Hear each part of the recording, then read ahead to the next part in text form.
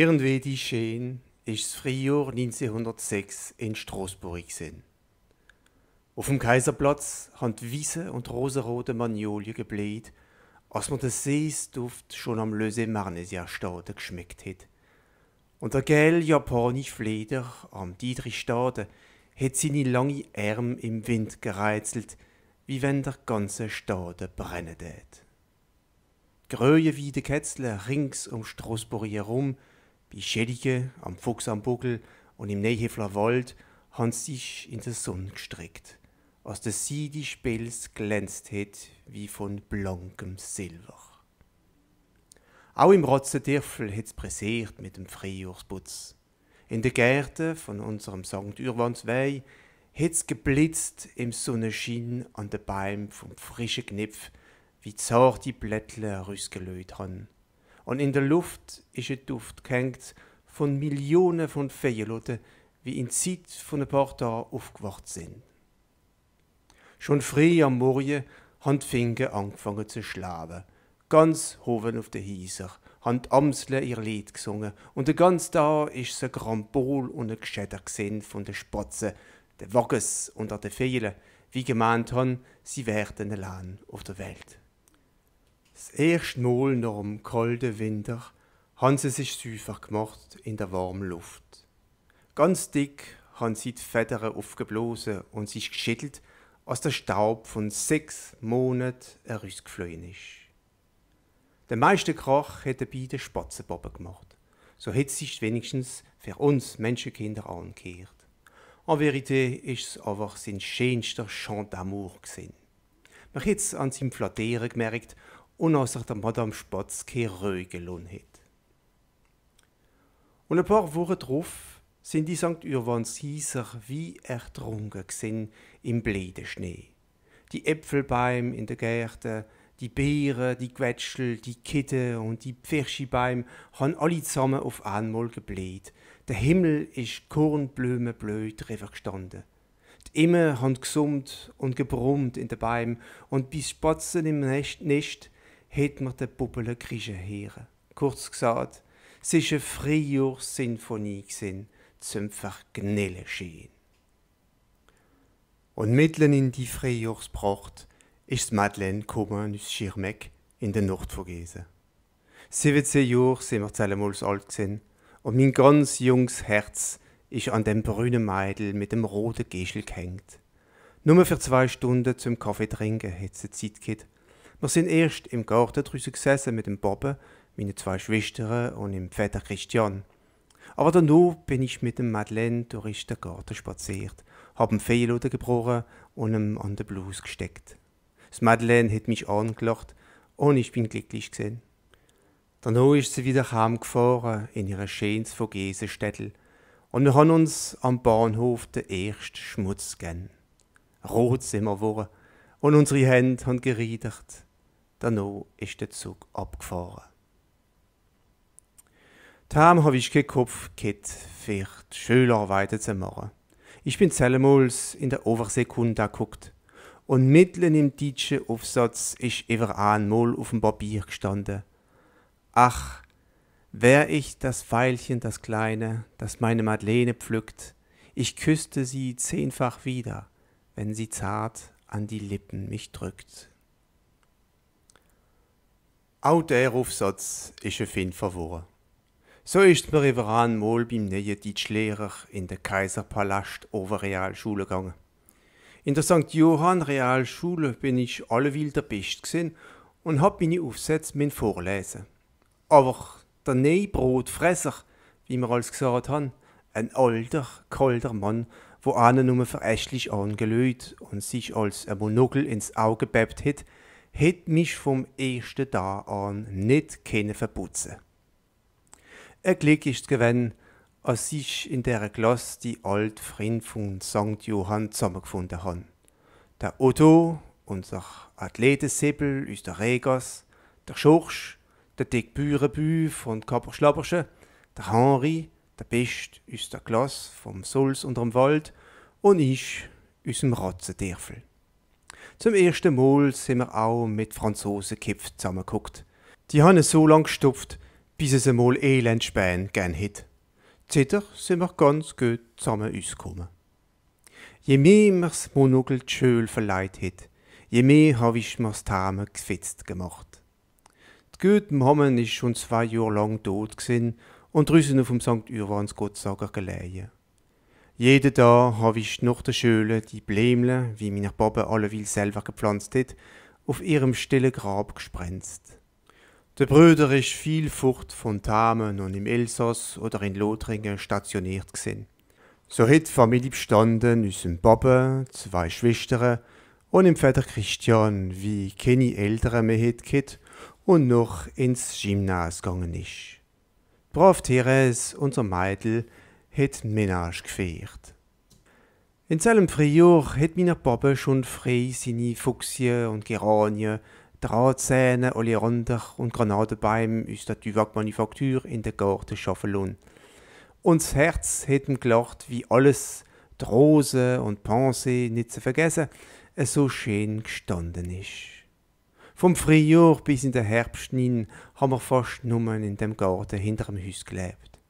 Ich hab mir im Keller auf der einen Seite eine Schreinerei mit einer Hovelbank und auf der anderen Seite ein Laboratoire eingerichtet.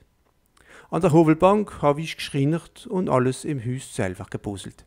Im Laboratoire habe ich alle Versuche, wie uns der Chemieprofessor in der Schule vorgemacht hat, nachprobiert. Besonders die, wo geknellt oder gestunken haben. Aber ich hab auch Fehl ausgestopft, Ratte und Mies präpariert und ihr Gericht zusammengesetzt. Auf dem Etagerl sind in Spiritus Schlangen, Bandwürm, junge Spatzen und Kinjele ausgestellt gesehen. Und daneben gebleischte Köpfe von Katzen und Hund und ein schöner, weißer Menschenkopf, wie es Müll hätte auf und zu machen. Unheimlich hätt sie alles im Dunkeln ausgelöst und meine Schwestern haben allein nicht herabgedreht. Aber am schönen Tag ist der Gestank von der Rattenbouillon und das Vergnellen von der Chemiebaumwolle im Babbe zu viel geworden und ich hab mein Laboratoire min auf Bein ganz hoven im Haus verleihen. Wenn's jetzt dort stinkt, stinkt's gleich in die Wohnungen und wenn ebs in der Luft fliegt, ist's nur das Dach, hat meiner lustig Babbe gemeint. Im Leben St. Urvans Hiesel hab ich jo die Schikane vom Monokel vergessen. Gott lobe Dank und nach der Schülerweide hat meiner gesund böwe sind Distraktion genug gefunden. Besonders der Mittwoch, der da und die Sonntag sind ausgenutzt worden. Im Sommer sind wir böwe aus der Straße ins Meierwässerle, in der Müsau oder in der kleinen Rhin zum Baden gegangen. Unser Jogele, ein Fuchsel, hat natürlich nicht gewählt und ist alleweil neben her geschwommen auf dem Modden in der Müsau und auf der Sonntagausflug in die Vogesen habe ich angefangen, Blämle zu sammeln. Tame habe ich sie bestimmt und dann noch gepresst. Sie sind der Anfang geworden von meinem großen Herbarium, wie ich später eingerichtet hab und wie heute noch meine Freude ist. Aber in selben Sommer 1906 wie mir schöne Leid ist geworden und aus Herz sein erst Evenement hekit, bin ich viel allein mit dem Velo an der Grossrin gefahren oder in den Nähhefler Wald. Nur der Juggle ist alleweil bei mir gesehen. Da bin ich im Gras gelegen oder im Schiffele, wie angebunden ist gesehen, und hab den Schiffel gelesen und Goethe oder auch selber meine ersten Gedichte gemacht fürs Madeleine, wie leider aber auch noch zu anderen Böwen freundlich ist gesehen. So heißt eins, leise schaukelt der Kahn, warm ist die Luft und mild, aus den Wellen so klar lächelt dein süßes Bild, küssen möcht ich das Haar, das deine Stirn umweht, berühre ich leise die Wang, treulos dein Bild zergeht. Und der jung Liebeskummer het dichtes sie nach Trost gefunden, wo die schillernd Libelle über dem Wasser still in der Luft gestanden sind, wo's Schilf geflichtert und gebispert het und Einsamkeit ihre mild Hand auf die Jungseel geleitet. Mein Glauben an die Menschheit ist zellemals noch arisch groß gesehen. Wie ich einmal das von der Schule heimkomme, gehen vor mir auf dem Trottoir von der Rindstraße ein Mann und eine Frau.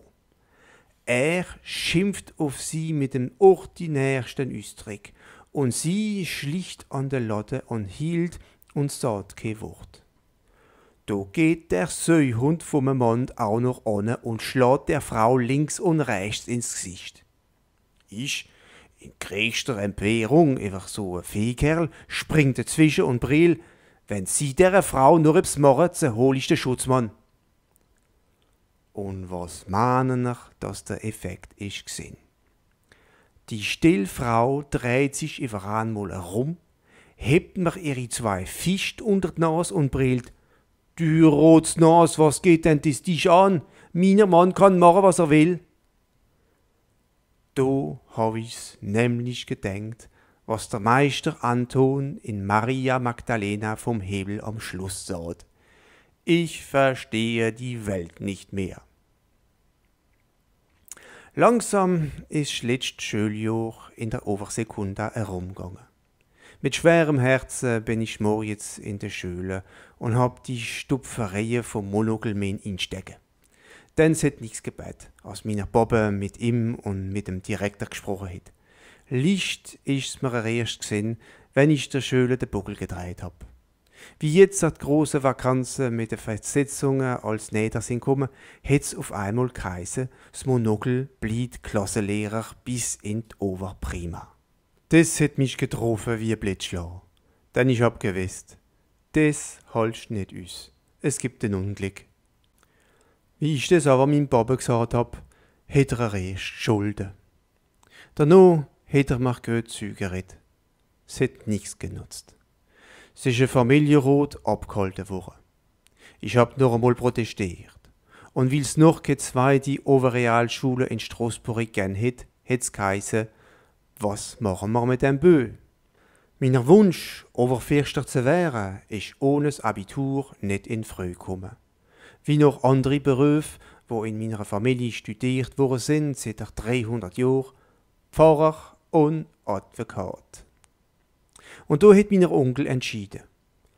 Aber Deger wird der Bö. Steckt nicht der Chemist schon lang in ihm? Schmeckt's nicht im ganzen Hüs norm? Sind seine Etageren und Schränke nicht schon eine ganze Apotheke voll Gutter und Häfel und kennt er nicht schon alle Pflanzen in seiner Heimat? Das gibt ein Apotheker comme il Und meine Brüder, wie auch hab's jetzt sagen dürfen, weil er neun Jahre älter ist wie ich, haben gemeint, passen mal auf, was der ein berühmter Apotheker wird.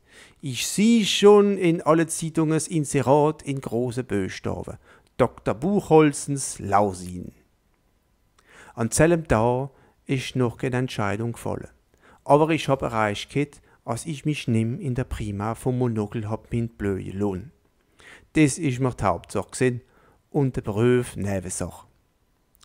Meiner gute Bobbe hat mir die Tätigkeit im Laboratoire von einer Apotheke so romantisch und schmackhaft ausgemalt, als ich zuletzt gesagt hab, siehst mir eins, so wurde ich Apotheker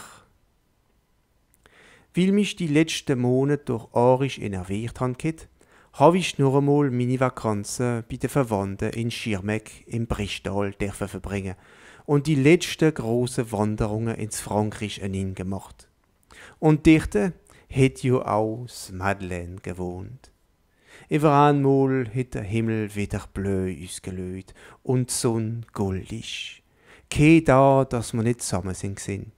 Und wenn's nur nicht gewend für Bonjour zu sagen, wie ein schöner Babeljut ist sie gesehen, wie in der Sonne schillert, ball so, ball so. Ich hab nie gewusst, wel's die rechte Farbe ist. Und sellemols ist nur eine Freundin von mir, meiner Cousine bei den Verwandten auf Besuch gewesen. Die ist still gesinn und ruhig mit einer tiefen, vollen Stimme. Und wenn sie gesungen hat, sind mir Tränen gekommen so bin ich gedirmelt zwischen diesen zwei Magneten. Und wenn ich bei der einen bin gsin, hätt's mich noch der ander verlangt. Znarz hab ich gespürt, als mein Herzpiesel so, klein ist für die zwei auf einmal. Und ich hab in Sterne gelöt und auf die Melodie von der Brisch gehorcht, wie hinter einem Haus durchgelaufen ist und hab mir kein Rot gewisst. Da ist auf einmal ein Kart vom Bob gekommen. Ich soll sofort zurückfahren, er hätte Platz für mich als Stift in einer Apotheke in Straßburg gefunden.